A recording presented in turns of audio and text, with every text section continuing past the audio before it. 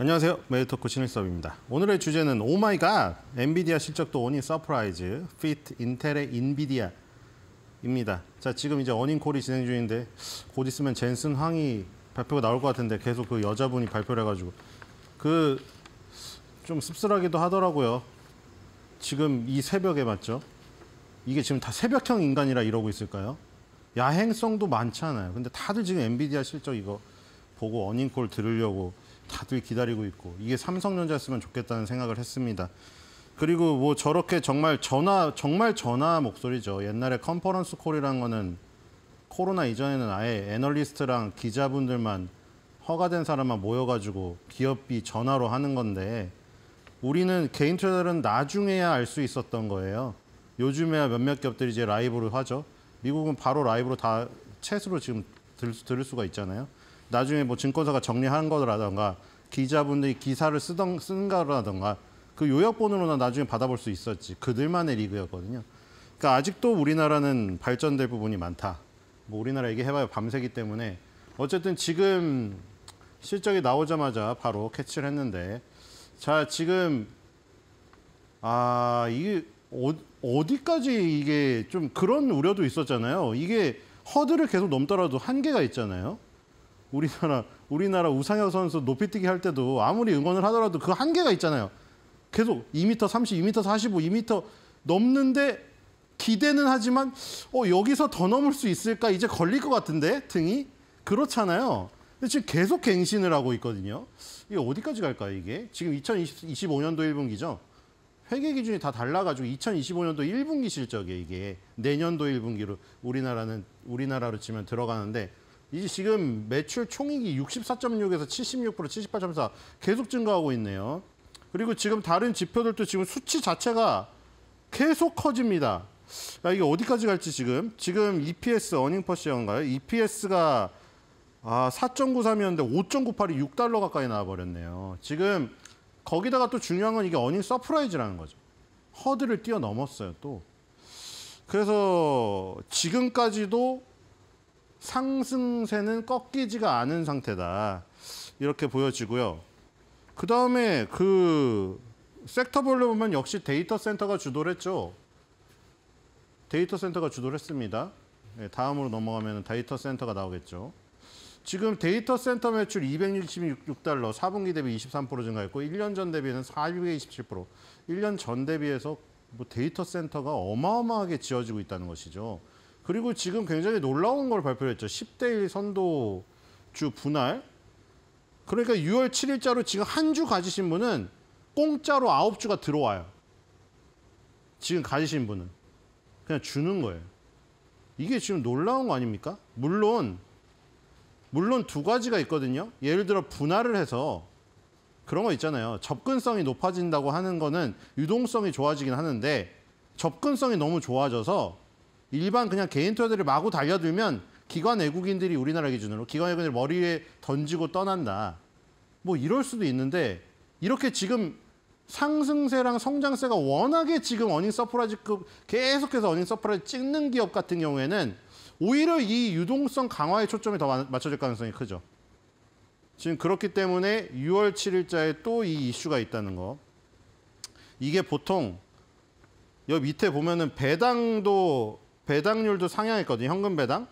지금 이 애플이 자 보세요. 애플이 지금 아이폰이 안 팔리고 뭐 이런다고 하더라도 주가가 계속 좋, 잖아요 그리고 빌 에크먼 같은 경우에는 오히려 지금 뭐 구글이나 이런 쪽에 더 주목을 하고 있고 이게 적입니다. 치트키입니다. 아니 이거를 그러니까 이, 게 실적이 만약에 안 좋게 나와도 그 저 애플 보세요. 애플이 실적이 매년 좋은 건 아니었거든요. 근데 애플은 매년 뭐를 하냐면은 엄청난 양의 자사주를 산 다음에 그걸 불태워서 없애버려요. 그러면 실적이 안 좋아도 주가 그냥 올라요. 그거 자체만으로도. 얼마나 좋아요. 나 가만히 있는데 나 열 주 갖고 있었는데 갑자기 애플 애플 본사에서 그 주식을 싹 다 산 다음에 반을 산 다음에 반을 불태워줘. 그럼 난 가만히 있어서 내 가치가 두 배가 돼요. 내 주식의 가치가. 가만히 있는데 나머지 반을 불태워줬으니까요. 그러니까 그 작업을 계속 한단 말이에요. 그러니까 애플은 끊임없이 오르고 그 필수 소비재라는 인식과 함께 워렌 버핏의 가장 많은 비중을 차지하고 있죠. 버크셔에서 의해. 지금 보면은 분할 발표했죠. 배당 늘린다고 했죠. 거기다 아까 자사주 후 소각 그것까지 하면은 그쵸? 엔비디아의 실적 자체가 지금 이렇게 어닝 서프라이즈급인데 저런 옵션 장치까지 넣으면 이건 양념이에요 그거는 거기다가 간장 고추장 소금을 치는 거예요 이게 맛이 더 살아나요 고기의 육질 자체가 지금 좋아지고 있는데 거기다가 사기 막 소스 맛으로 먹으시는 분 계시잖아요 고기에 약간 뭐 텁텁함이랑 고기가 조금 잡내가 나는 거를 소스 맛으로 죽여, 죽여서 맛있게 만드는 방법도 있잖아요 근데 얘는 고기 자체가 일단 맛있어요 근데 거기다가 마법의 소스까지 뿌려버리면 이거는 사기죠, 사기. 완전 사기입니다, 지금 이거. 사기라고 볼 수가 있겠고요. 다음으로 가겠습니다. 그리고 예, AI 컴퓨팅, 어, 1분기 매출액 나오고요. 아, 이거 데이터 센터에 관련된 거 나오고요. 데이터 센터 잘 나왔다. 이거 말했고요. 그 다음에 이제 데이터 센터 다음으로 차지하는 그 비중들이 나오죠. 게임 및 AI. 요쪽은 게임 매출은 1분기 2025년도 1분기 게임 매출은 전년 전년 동기 아 전분기 대비 8% 감소했고 1년 전 전년 동기 대비해서는 18% 증가했다. 게이밍 같은 경우에는 전분기 대비해서는 줄었습니다. 그리고 다음 분야로 보겠습니다. 원래 게임 분야로 설명을 드렸죠. 원래 엔비디아는 게임 분야에서 커왔었습니다. GPU로. 게임 분야랑 PC 분야 GPU에서 커왔었죠. 인공지능으로 터진 거고. 자동차 및 로봇공학 여긴 전분기 대비 17%, 전년 동기 대비 11%. 그러니까 여기도 전분기, 전년 동기 대비 다 성장했습니다. 그러니까 모든 분야가 성장했죠. 아까 전에 그 게임 분야 전년 동기 대비 하나 빼고 다. 자, 그리고 아까 그 놀라운 분할 얘기가 나온 겁니다. 6월 6월 달 6월 6일까지입니다. 6월 7일 기준이니까 6월 6일 현충일 기준 가지고 계신 분은 아홉 주를 추가로 그냥 받습니다. 얼마나 기분이 좋아요. 엔비디아 한 주라도 더 갖고 싶어서 지금 난리인데 그냥 줍니다. 근데 6월 7일 날 장 마감 후에 분배가 되고 6월 10일 월요일에 개장할 때 분할 조정 기준으로 시작됩니다. 아까 전에 말한 대로 유동성이 더 확대가 되고 지금 요, 요 상황에서 이런 식으로 돼버리면은 그쵸? 뭐 개인 투자가 달려든다고 폭탄이 매물 폭탄이 나오기보다는 오히려 좋은 쪽으로 상황이 나타날 가능성이 크다 이렇게 보입니다. 네, 이 엔비디아 실적이 언제부터 지금 달렸냐면은 자 2023년도 4분기 자 우리가 생각하는 분기랑 좀 달라요. 그렇죠, 달라요. 2023년 4분기에는 여기 보면은 데이터 센터 매출이 11%밖에 안 늘었습니다. 이거 이제 제일 많이 봤죠 계속. 데이터 센터가 매출 비중이 가장 크고 그 다음에 게이밍이에요. 나머지 automotive 같은 경우는 굉장히 적습니다. 적다고 생각하시면 되고 이 두 개가 거의 대부분이죠. 근데 gaming은 전년 동기 대비, 2020년 4분기 대비 반토막 났었고요. 데이터 센터도 11%밖에 증가를 안 했습니다. 이때는 automotive가 100% 이상 증가했지만 automotive의 비중은 너무나 작죠. 5%가 안 돼요.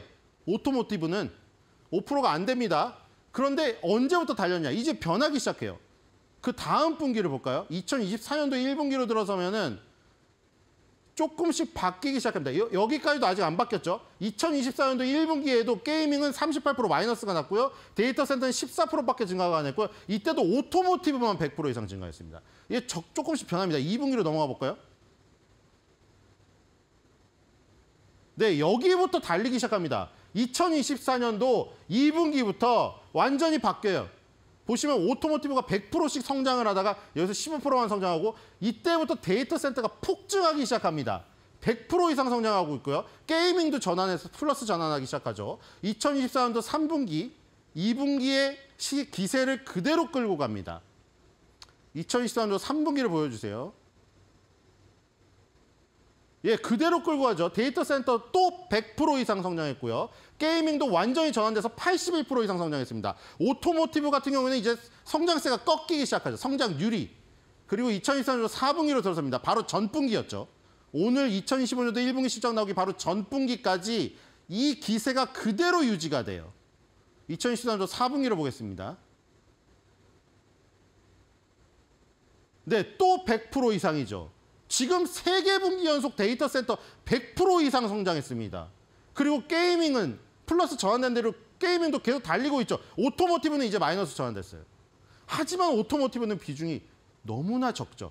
아까 처음에 automotive가 100% 이상 성장할 때 5% 가까이 비중이 됐는데 1.3%로 줄어들었습니다.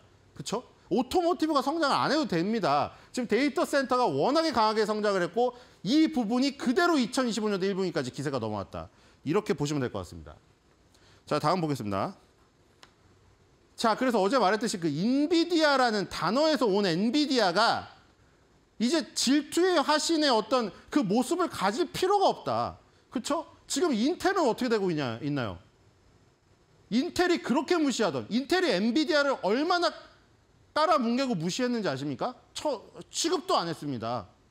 상대가 되지 않으니까요.